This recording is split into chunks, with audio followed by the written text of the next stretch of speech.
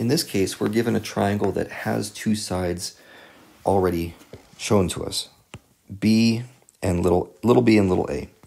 And we're told that angle b is 31 degrees. Okay, that's nice.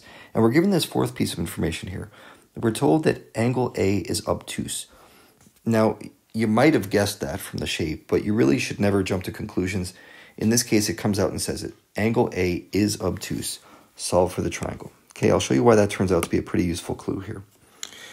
Let's um, let's start solving this thing first by figuring out what angle or side we should go for first. Take a look at what we're given.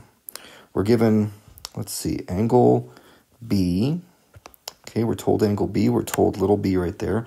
We're told little a. And if you think about this, notice I've got a pair of b's. Okay, the b's are matching. And the question is, what can I solve then in my law of sines? If you remember what the law of sines is, it says this. Um, well, here's one form of it. Big A over little a equals sine of big B over little b equals sine of big C over little c. So we're looking at this thing, we're trying to think what to solve. Well, I don't know the angle C, I don't know the side C, so there's no point starting there. We're going to have to go for A. Okay, we're going to go solve big angle A. Now, um, I'm going to do, I think I can fit the work right here. Let's take this portion. Okay, I'm going to take this portion of my law and rewrite it right here. I'm going to say sine of big A equals little a times the sine of b over little b. See, I just multiplied each side by little a. This should get much easier to solve now. I get, let's see, 7.17 for little a times the sine of uh, angle B is 31 degrees. Okay, no, I don't like that multiplication there. Uh, I'm just going to do parentheses. Okay, divided by uh, little b is 3.75. So this is the way you should type it into your calculator. And what we get is that the sine of angle A equals, well, let's see, 7.17 sine of 31 degrees divided by 3.75. Okay, great. I get 0 0.984, I'm going to round it, 9848. But notice I've used a lot of digits. And when you do round, make sure you have a lot of digits, four, five, six, something crazy like that. So that then we do a equals the inverse sine of the answer, that last part, 9848. And we get a equals, if I do the inverse sine here on my calculator, okay, I get a equals 79.98. Uh, I'm going to use lots of digits, 9819 degrees. Okay, hold up, we got a problem. Because I was told at the beginning of this thing that A, the angle A, is obtuse. And look what we just had. We just solved for an acute angle. So we have to figure out how to resolve this issue. And I like to talk about the unit circle every chance I get.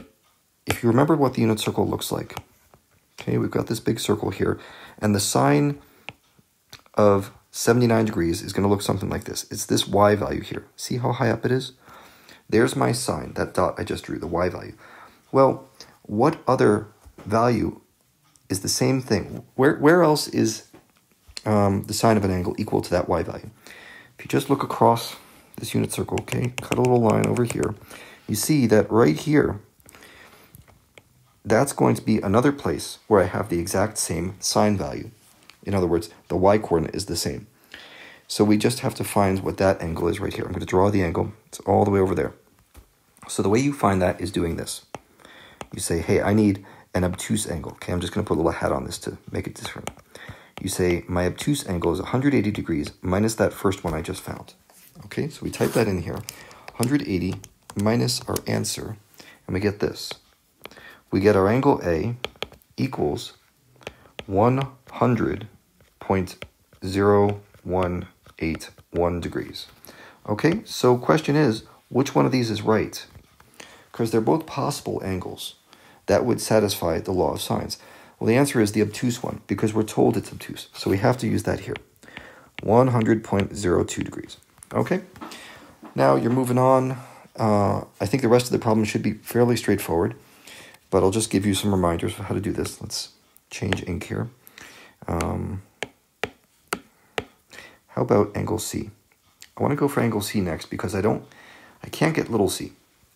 Okay, I don't have anything about the c's to work on, but I can get big angle C without even using the law of sines, just by remembering this.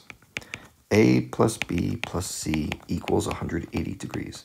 Okay, so that means angle C equals 180 degrees minus 100.02 degrees minus, what was my other one? 31 degrees.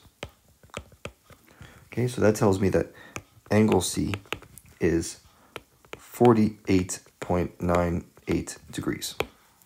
Great, that was easy. Now we can move on and find the side C. That'll be my last step. So I use a version of the law of sines, which will be easy for me. Little c over sine c equals, let's just pick little a. Could do either one you want at this point. We know just about everything. So that means little c equals little a times the sine of angle c divided by the sine of angle a. Okay, and we know these values. Where is little a? 7.17. So this is 7.17, that's little a, times sine of 48.98 degrees, that's big angle C, and angle A, remember we're going to use the obtuse angle, 100 100.02 degrees. And if you punch that into your calculator, you will get C equals 5.49. Okay, so that's the way we work through this one. I think the key point is right here, this guy. How do we deal with an obtuse angle? You do 180 degrees minus what your calculator told you, and that gives you the obtuse angle, not the acute one.